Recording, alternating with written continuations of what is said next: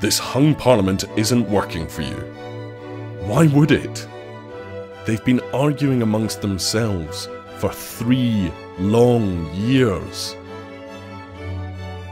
Now they're arguing about arguing. Arguing just for the sake of it. And their arguments have crept into your life, crept into your work, crept into your family.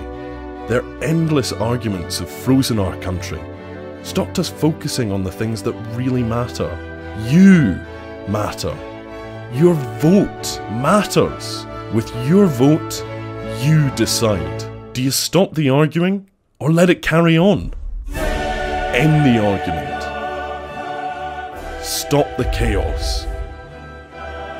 Vote Conservative. Get Brexit done. Get all of this done. And move on.